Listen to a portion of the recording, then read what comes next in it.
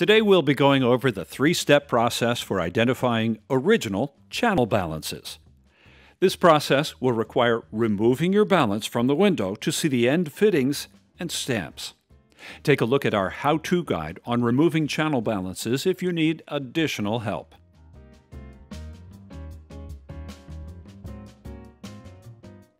First, we'll need to see clear photos of both ends of your balance and the metal clip at the end of the balance cord. Showing us the nylon fittings is an important step when it comes to identifying your balance series.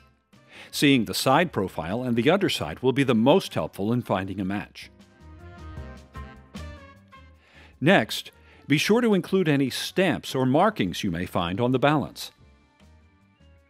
And last, you'll need to measure the length of the channel portion of the balance in inches. Remember, do not include the balance attachments in your length measurement. Once you've gathered the necessary measurements and photos, send your inquiry to our experts through the part identifier at swisco.com.